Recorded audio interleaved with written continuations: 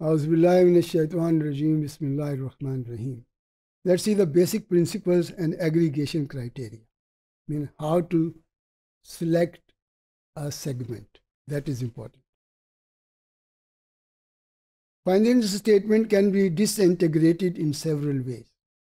For example, they can be disintegrated by products or services. If you go to any hospital, let's say, there are so many departments rendering different services. So we need to separate it. Any and by graphic uh, geography also, geographically also.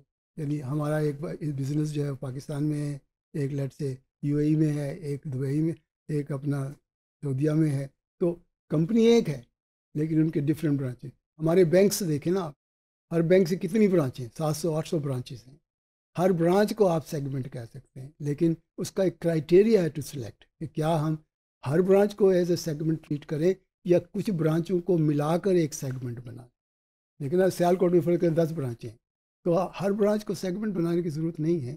आप सियालकोट को एक segment बना लें और उनको total ले लें।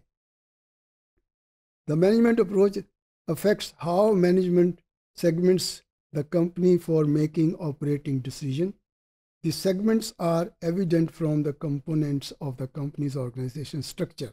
Usually होता ये है कि जब हम ऑर्गेनाइजेशन चार्ट बनाते हैं ना तो उसमें ही हम सेगमेंट डिसाइड कर लेते हैं कि ये हमारे चार बिजनेसेस हैं और हर इन चार बिज़नेस के हम सेगमेंट अकाउंट्स बनाएँगे और उसमें ये भी डिसाइड कर लेते हैं कि इनमें हमारी इन्वेस्टमेंट्स क्या है सारी डिटेल आपके पास होती है after the company decide to possible segment for disclosure it makes a quantitative materiality test यानी आप जब डिसाइड कर लेंगे तो उसका एक टेस्ट करना पड़ेगा कि क्या वाकई ये सेगमेंट्स इस काबिल है कि इसको अलग से रिपोर्ट किया जाए। दैट इज़ इंपॉर्टेंट तो let see how the now in case आपका अगर नहीं पता चलता कि भाई कौन सा सेगमेंट किसमें ऐड करना है कि नहीं करना तो आप एग्रीगेट कर सकते हैं। यानी आप इकट्ठा भी कर सकते हैं, मिला भी सकते हैं। टू और मोर ऑपरेटिंग सेगमेंट्स में भी aggregated into a single operating segment if aggregation is consistence with the core principle the segments have similar economic characteristics and segment are similar in each of the following respect ये condition हैं, अगर आपने aggregate करना है यानी दो segment को मिलाकर एक बनाना है तो उसके लिए the nature of products and services कि अगर आपकी नेचर ऑफ़ प्रोडक्ट और सर्विस सेम है तो आप उन दोनों को क्लब कर सकते हैं। जैसे बैंक के केस में मैंने बताया कि bank of the business same है तो उनको आप एक कर सकते हैं। The nature of production process कि अगर प्रोडक्शन जो है आपकी, उसका प्रोसेस सेम हो तो भी। The type of class of customer for their product and services the methods use to distribute their product and services ये अगर कॉमन है तो फिर आप उनको एग्रीगेट कर सकते हैं।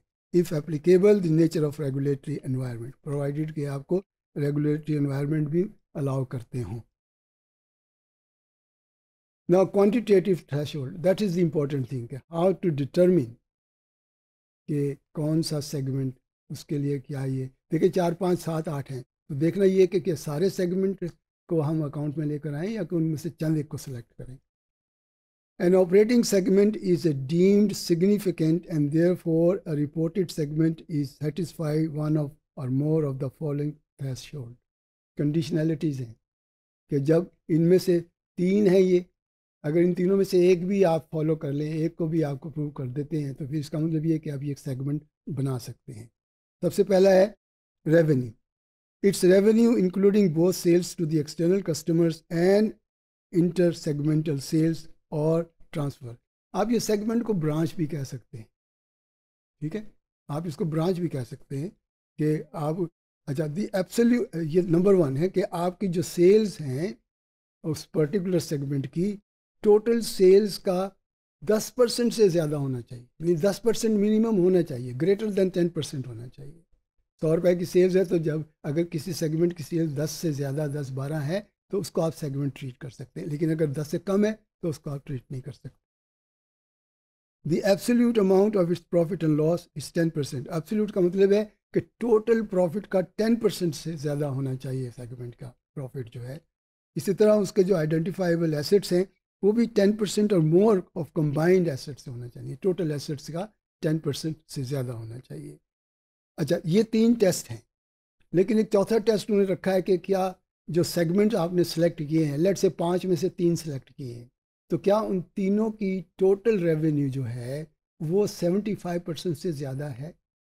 तो ये जो टेस्ट है that is the important thing only then you can say कि जी हमारे, ये सेगमेंट बनते हैं। Management evaluate regularly each segment and decide how to allocate resource and in assessing performance because आपने हर सेगमेंट की परफॉर्मेंस को इवेल्यूएट करना है तो इसलिए आपको फिर ये मैनेजमेंट को देखना पड़ेगा कि सेगमेंट्स को, कौन कौन सा सेगमेंट्स हम रखें। ना general information about this operating segments segment profit and loss account revenue with external customers revenue from segments interest receive revenue interest expense depreciation amortisation income tax expensive यानी these are the details you require for each segment उनका revenue कितना है, फिर उनके पास profit and loss कितना बन रहा है, उसमें एक्सपेंसेस कितने हैं, ये सारी डिटेल्स आपको फिर देनी पड़ेगी। और सेगमेंट एसेट्स एंड लाइबिलिटी और जैसे शुरू में बताया कि अगर कोई अनएलोकेटेड रह जाता है तो उसकी रीज़न भी आप बता दें और उसको ना एलोकेट कर बिल्कुल मैंशन कर दें कि ये अनएलोकेटेड भी हैं। फिर इनकी reconciliation way total assets of the company obviously आप उन सेगमेंट्स में डिवाइड करेंगे तो आपको बताना पड़ेगा कि हर सेगमेंट में कितने हमारे टोटल एसेट्स या कितनी टोटल लाइबिलिटीज़ हैं। हालाँकि कंपनी के एज ए होल भी हैं, लेकिन आपने ये देखना है कि कंपनी के सेगमेंट्स में कितना कितना इन्वॉल्व है और उसकी रिकन्सिलेशन टूवर्ड्स दी एंड बनाना पड़ेगी। Thank you very much